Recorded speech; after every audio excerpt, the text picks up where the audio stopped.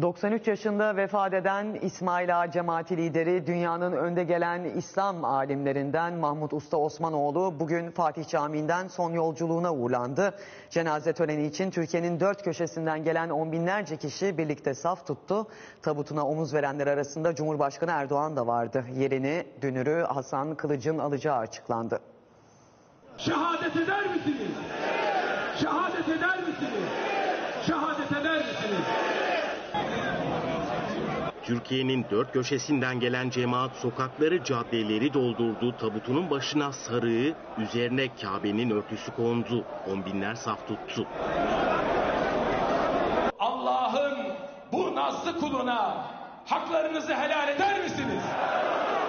İsmail Ağa cemaati lideri Mahmut Usta Osmanoğlu cuma namazını mütakip kılınan cenaze namazının ardından Fatih Camii'nden son yolculuğuna uğurlandı. Ehli sünnetin büyük alimiydi. Allah dostuydu. Mahmut Efendi Hoca olarak bilinen Mahmut Usta Osmanoğlu 93 yaşındaydı. Uzun yıllar İsmail Ağa cemaatine imamlık ve liderlik yaptı.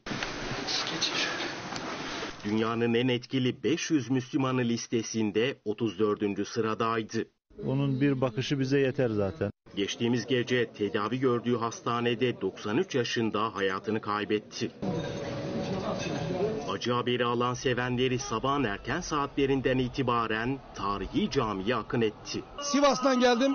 Su şehrinden. Mahmut Usta Osmanoğlu'nun cenaze namazı öncesinde polis ekipleri çok yoğun güvenlik önlemleri aldı. Fatih Camii'ne çıkan tüm yollar trafiğe kapatıldı. Cemaatin geçişi ise kontrollü bir şekilde sağlanıyor. Büyük bir zattı, büyük bir alimdi. Duyguluyuz. Bugün hüzünlü ve buruk bir gün.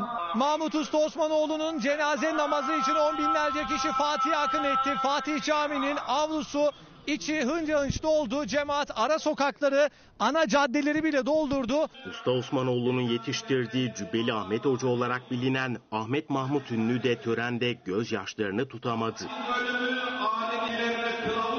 Cenaze namazını oğlu Ahmet Usta Osmanoğlu kıldırdı. Allahu Ekber.